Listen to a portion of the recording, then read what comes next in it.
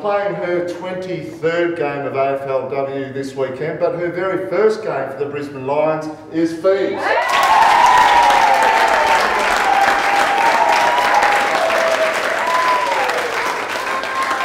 We, we, we appreciate what you've been through to get here. So, unable to get to, to Brisbane in the first place because of um, border restrictions, then has to go and do the quarantine, which we all know is not too much fun. Uh, but now that you've got in the groove and understand what it's all about, you look really good out there now. You look like you belong in that part of the ground.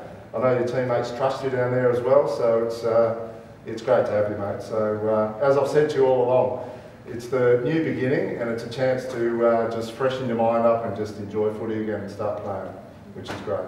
So,